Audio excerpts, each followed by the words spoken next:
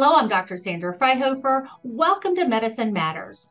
The topic highlights from ACIP's new adult schedule for 2023, published in the Annals of Internal Medicine, and why this new schedule may be a collector's item. Here's why it matters.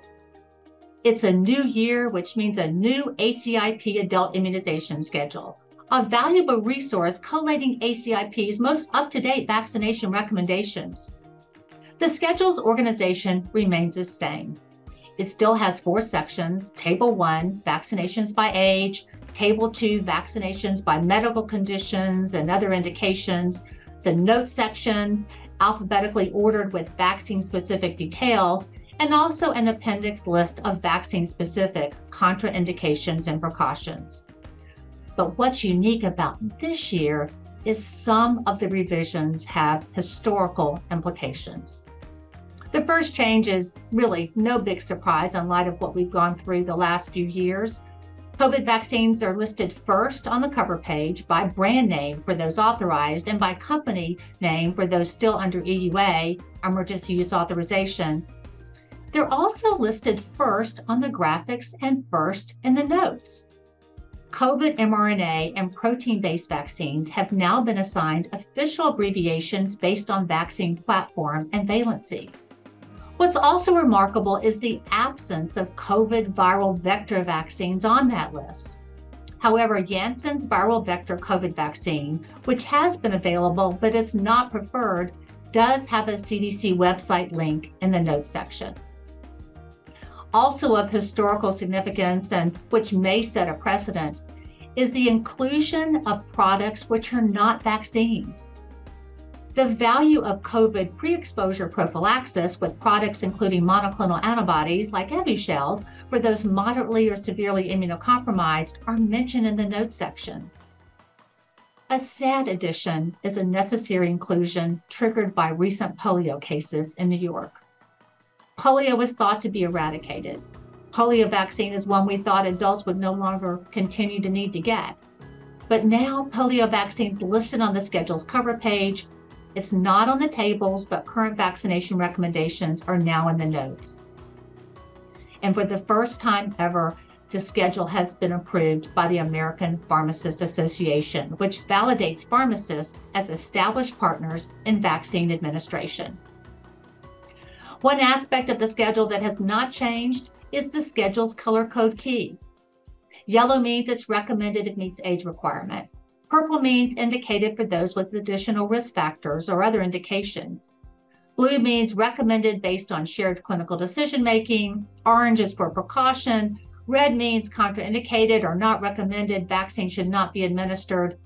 Overlays on the red more precisely clarify whether a vaccine is really contraindicated or just not recommended.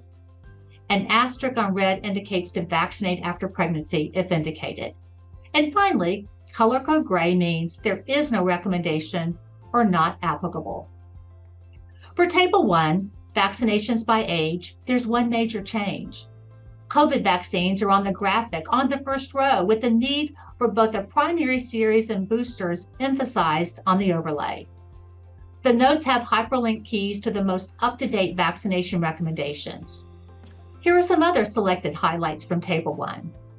For hepatitis B for adults under 60, Hep B's color code is yellow, meaning it's indicated for all. But if you're 60 or older and you want it, you can have it, even if you don't have an additional risk indication. And yes, even though the bar is purple. How do I know? It's in the note, so check it out. Pneumococcal vaccination is routinely recommended starting at age 65.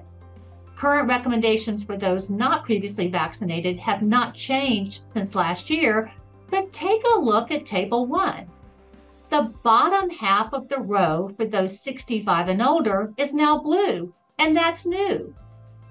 This new blue means shared clinical decision making and applies to those previously considered fully vaccinated with the now extinct combination of PCV 13, then PPSV 23. These patients now have the option of getting a dose of PCV 20 five years after completing their PCV 13, then PPSV 23 combo series. This option is blue because this decision is up to you and your patient. Check the notes for more pneumococcal vaccination details, and there are many more of them. For example, for those partially vaccinated using lower valency vaccines, there's an option of substituting PCV20 for PPSV23 to broaden and increase durability of protection. Yes, these pneumococcal vaccination recommendation options are complicated, but more help is here. There's now a new pneumococcal vaccination app. The link to get the app is in the notes. Now for Table 2 vaccinations by medical condition or other indications. Other than a few minor word changes on the overlays, the only thing that's new is the COVID vaccine row. This table is helpful for matching vaccine recommendations with specific medical conditions, pregnancy, immunocompromising conditions, HIV with specifics according to CD4 count, asplenia, complement deficiencies, heart disease, lung disease, alcoholism, chronic liver disease, diabetes, healthcare personnel, and men who have sex with men. Use this table to dot the I's and cross the T's when it comes to vaccination recommendations. For example, take a look at the pregnancy column. Live virus vaccines, including LAIV, MMR, and varicella, are contraindicated and color coded red. MMR and varicella also have an asterisk, meaning vaccinate after pregnancy if indicated. As does HPV vaccines, which is not a live virus vaccine, but its overlay says not recommended, but also with an asterisk meaning vaccinate after pregnancy. Next, let's look a little more closely at the notes. They're still in alphabetical order. Their organization, routine, special situations, and when indicated, shared clinical decision making has not changed. They're concise, they're succinct, but sometimes they're not enough. That's why vaccine specific links to more complete recommendations are so convenient.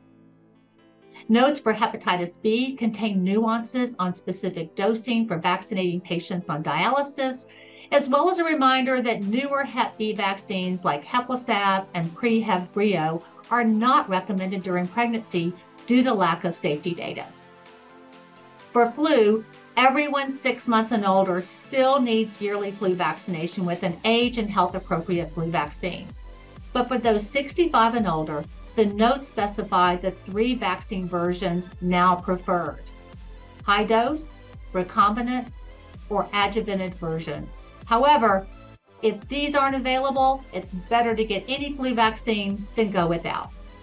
For meningitis vaccines, the notes for MenACWY ACWY and MenB are combined. For MenB, trade names Bexsero and Trumenba are specified because the products are not interchangeable. Booster intervals for those still at risk are different for each vaccine type. Every five years for MenACWY ACWY boosters and every two to three years for boosters of MenB. The recent polio case in New York has put polio vaccination in the spotlight. ACIP has now reinstated its polio vaccine work group.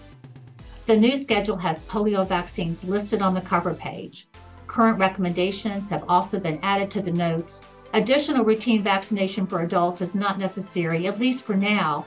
However, for those at increased risk of exposure to polio, they fall into the special situation category. For those at increased risk who completed a polio vaccine series, a single lifetime IPV booster can be given. For those at increased risk who have not completed their polio vaccine series, now would be the time to finish that series. And don't forget, the final step in using the schedule, check the appendix and its list of vaccine specific contraindications and precautions. I hope this review of the new ACIP adult immunization schedule has been helpful. Happy vaccinating. For Medicine Matters, I'm Dr. Sandra Fryhofer.